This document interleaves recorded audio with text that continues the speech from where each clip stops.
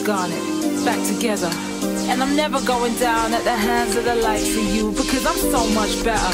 And every part of me is saying, go get her. The two of us ain't gonna follow your rules. Come at me without any of your fancy tools. Let's go, just me and you. Let's go, just one on two. Go ahead and try me if you're able. Can't you see that my relationship is stable? I can see you making sweet and to mingle. But I think you're just ain't no use, I gotta me and Can't you see? I can see you hate the sweet and delusional But I think I just can't, just no use, I gotta stop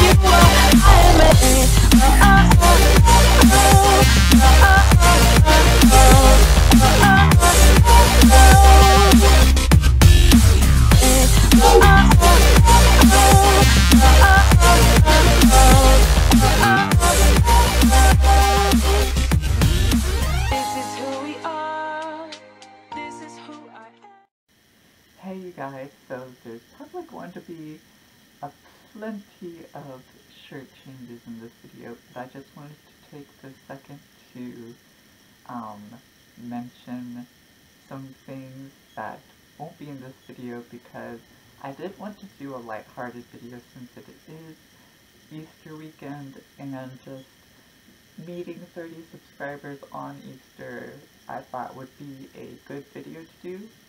But there are some non-lighthearted things going on that I have read about, and I've only heard one YouTuber talking about it, and one of those things is what is happening. In, in Chechnya, which there are reports that gays are being taken to concentration camps, but I've also read that, or read some terms that were like concentration camps or that there's individual houses involved in that, um, but there's also stuff going on in Haiti that is bad, and that involves UN peacekeepers, and I just wanted to say something because next week I do plan on um, doing a stream of conscious and touching on the subjects more when I have more information on them, but I just wanted to mention those mention those couple of things before this video because I think that it would have been wrong of me to kind of skip over them in um, terms of that video just to do something lighthearted for Easter. But yeah, on with the video plan for today.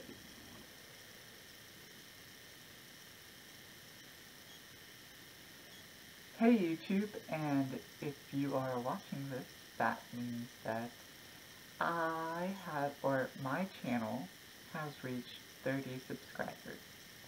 And I don't really like the term subscribers because you're people.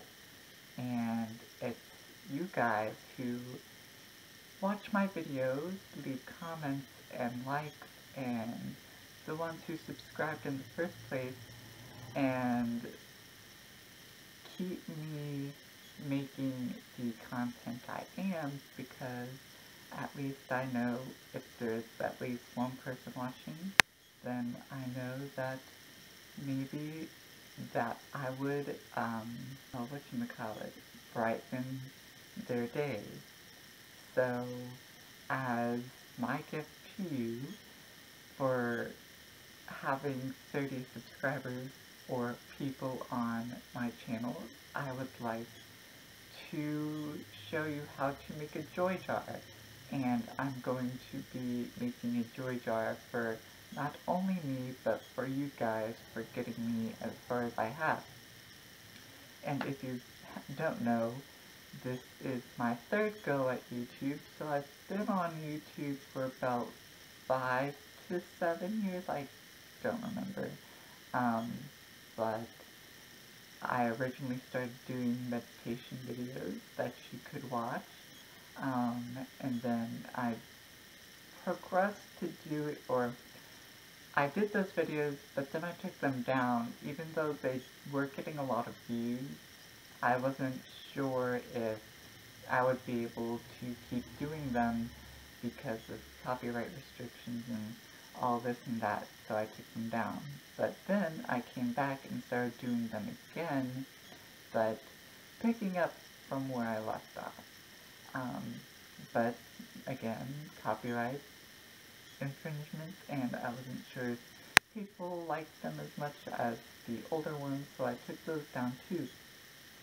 And then for the third time, I came back to YouTube as a way of getting more creative with my witchy stuff, conveying my experiences with the craft with you guys, and just seeing where that goes from there. My channel's up to like 80 something videos now, which is far away from the 12 original meditation videos that I have re-uploaded to YouTube. Except Meditation 7, I have Meditation 7 and then I have alternate audio because I couldn't get around, I wasn't sure if it was the video part in it or if it was the music, but I had to change it up, but there's those for you to watch. And before we get started with the Joy Jar, I would like to share what the number 30 means in um, angel number and numerology. So the angel number for 30 is a mixture of the energies of number 3 and number 0. It's the attributes of angel number 30, meaning number 3 stands for the eloquence and expression, magnetism, and naturalness.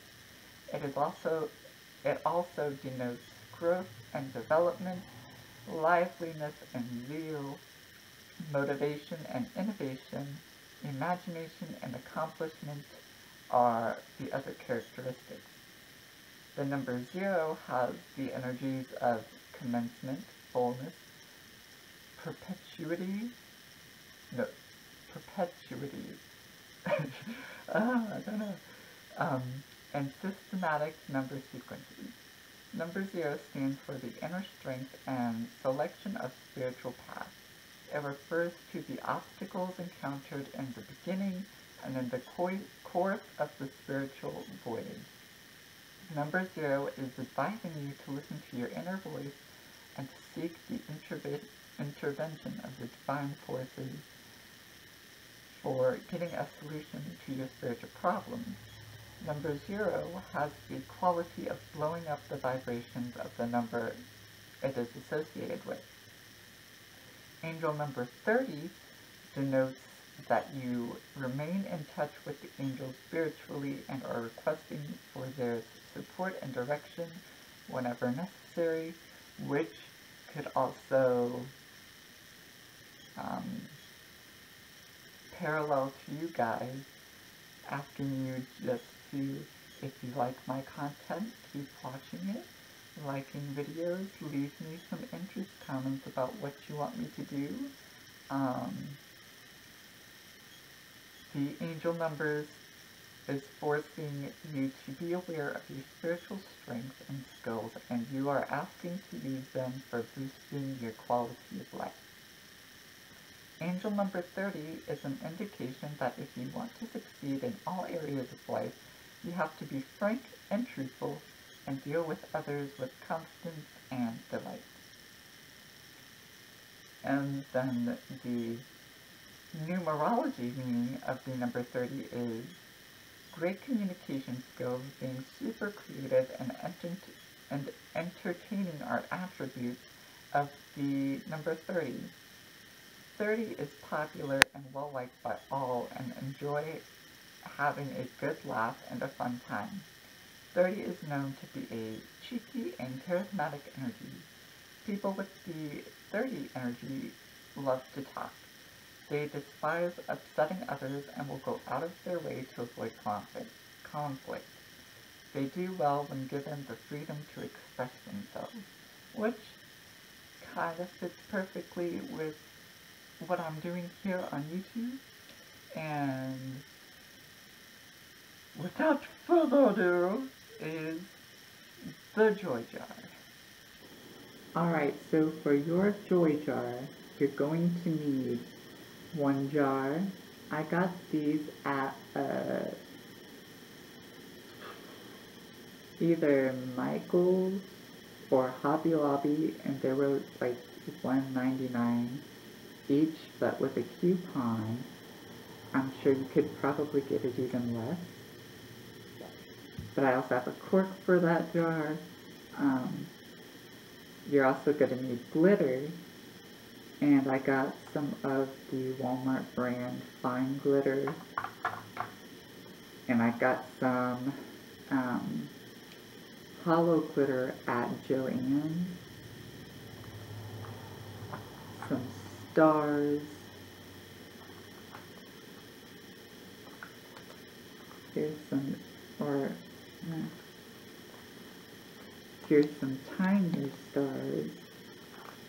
And then optional you can use these little tiny mini cupcake um, foils um, because there is a, a, thing such as using too much glitter in one of these because in a bigger mason jar you could probably get away with it but since it's so compact and small you're going to want to use just a little bit of, or a decent amount of glitter so that it can have the full effect of shaking it up and having it go all pretty.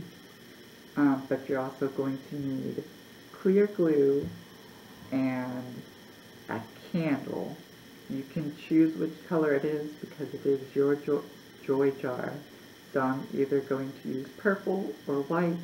Um, I also have some black candles I may use, but that's just up to you.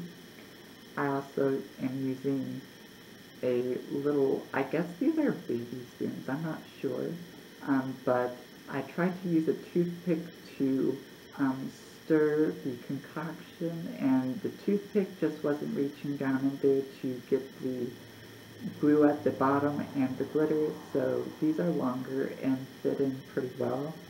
Um, so you can just stir like that. And then I'm also going to use water, which is also up to your um,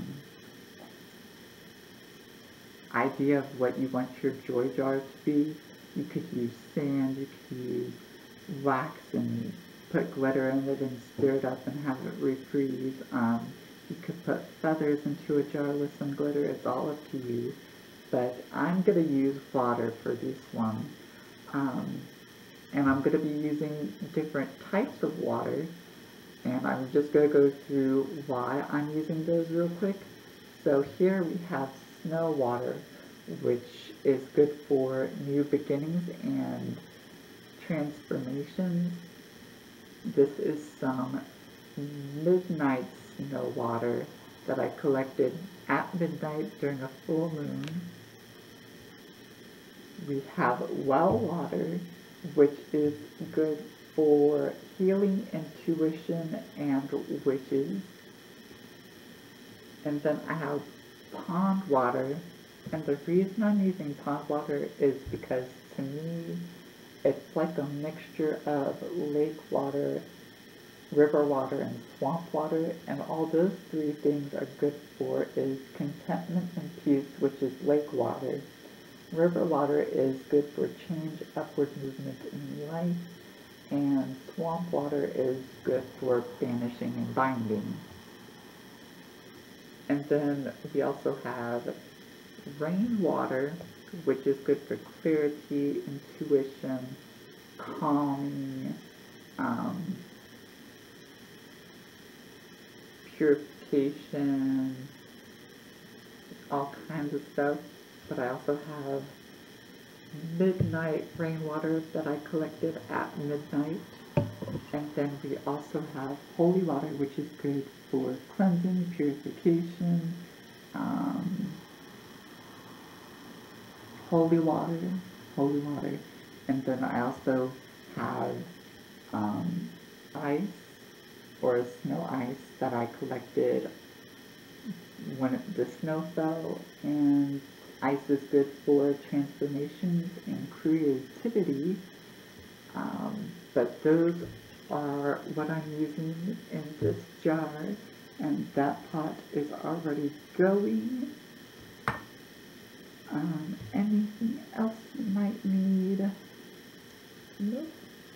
alright so the first step you're going to want to follow this um, technique, especially if you don't want a huge mess. I think this is probably the best way to make sure that you get a good um, jar and to make sure that you don't make a huge mess, which is why I also am using these cups is because pouring the glitter into the jar after you put in the glue and the water is just, it was such a mess. I had to go back and redo this because it ended up having too much glitter and it just wasn't up to par with me. Um, but I used the fine glitter, um, the hollow glitter, and some stars um, in this and you just want to use a little bit. I used a little bit of like 20 different kinds of glitter and I'm going to put clear glue in this but optional you can also put in um, food coloring um, if you want to but I'm just going to make this a rainbow jar since I already have this indigo jar um, but the first step is to take your glitter and you're just going to want to put it all in there.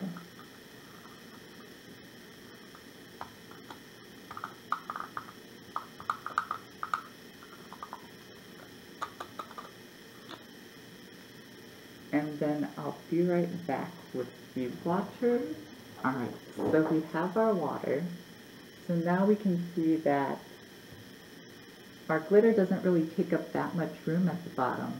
So we're going to fill the jar probably up to the at least one third of the way or you can go half of the way because depending on how much water you have in the jar and glue or how much water to glue ratio you have, the more glue is going to cause glitter to fall down slower.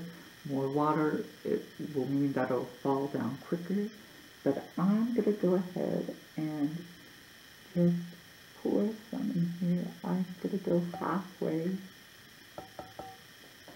And you're going to want to leave some room at the top so that when you do shake it, that the glitter will dissipate into the water and glue mixture. Um, so now we're going to add the glue if I can get it to come out. That's what she said. So now it's up to almost the rim of the jar, but I'm going to go ahead and add just a tiny bit more water. And then you're just going to want to stir it. And you're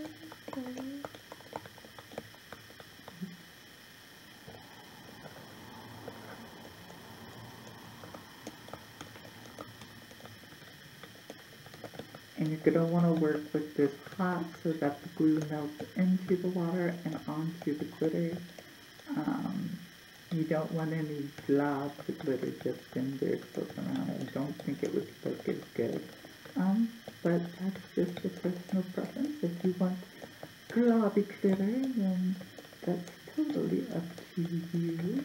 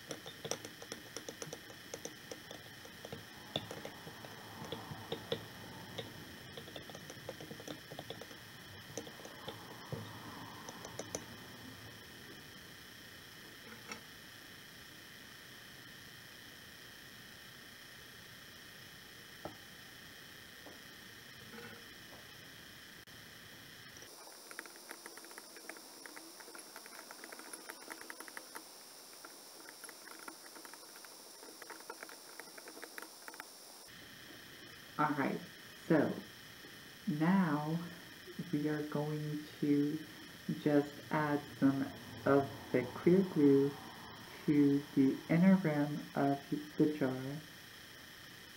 Like.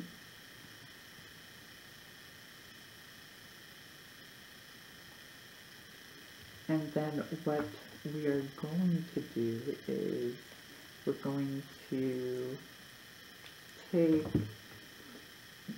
your candle and we're just going to put, or we're going to take our lighter and you're going to use the bottom of your candle and you're going to wax the side of the cork so that it will have a groove and a wax feel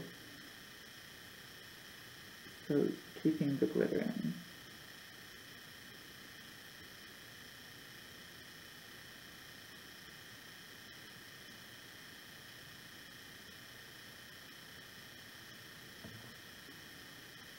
So then you just stick it on there.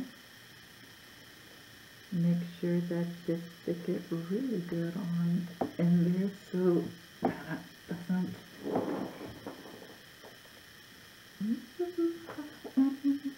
okay. And then what you're going to do is you're also going to melt the bottom on top of the cork.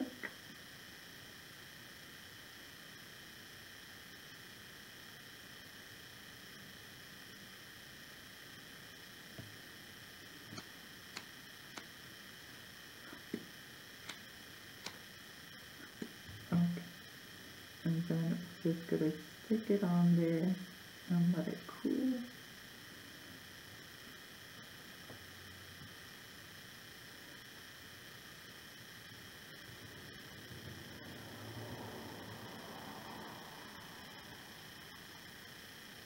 And then what you're gonna wanna do is you can either write a spell for joy, and that may be different to you. Um, joy to me means happiness and um, excitement or creativity.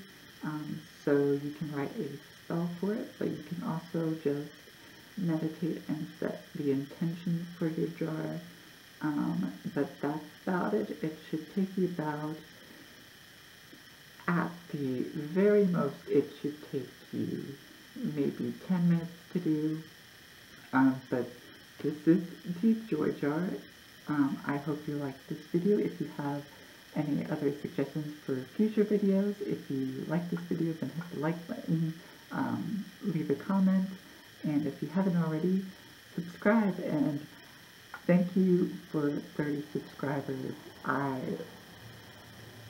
have no words because I had no idea that this channel would be interesting to anybody and you proved me wrong. Alright, bye guys. If you're evil and you're on the rise, you can count on the four of us taking you down. Cause we're good and evil never beats us. We'll win the fight and then go out for pizzas. We are the crystal gems. We'll always save the day. And if you think we can't,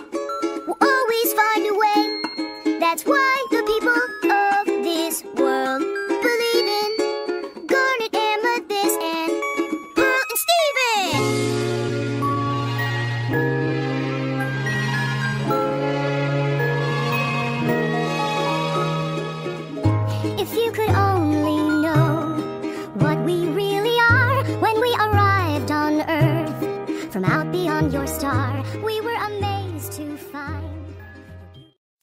If you're evil and you're on the rise, you can count on the four of us taking you down. Cause we're good and evil never beats us. We'll win the fight and then go out for pizza. We are the crystal gems.